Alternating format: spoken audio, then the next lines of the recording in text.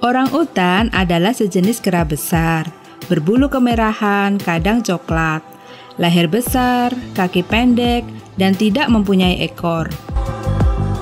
Orang utan jantan mempunyai ukuran lebih besar daripada betina, dan pada kedua sisi muka terdapat gelambir pipi, sedangkan pada betina tidak.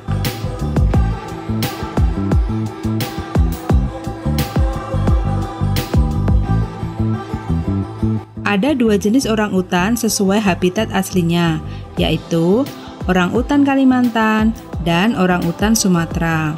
Yang ini adalah orang utan Kalimantan.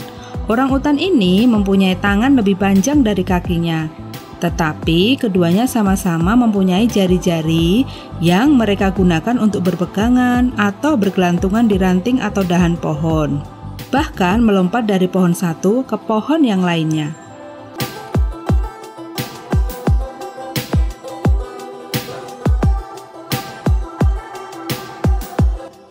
Orang utan aktif pada waktu siang hari, sedangkan pada malam hari mereka gunakan untuk beristirahat.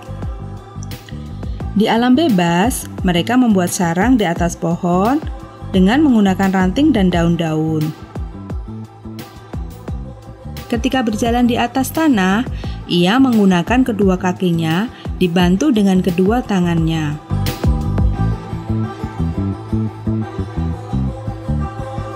Makanan yang mereka sukai adalah buah-buahan, sayur, daun muda, bunga, kulit pohon, dan serangga kecil lainnya.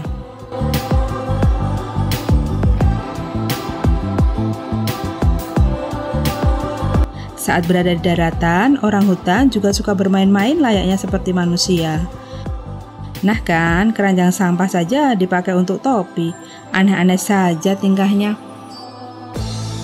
Populasi orang hutan di alam bebas terancam punah karena habitatnya yang semakin berkurang.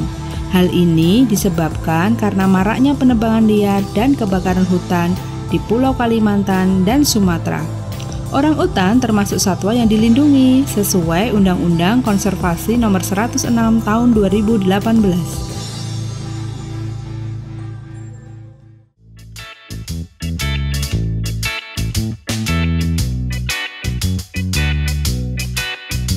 Dengan menggunakan giginya yang kuat, ia bisa mengupas sabut atau kulit kelapa.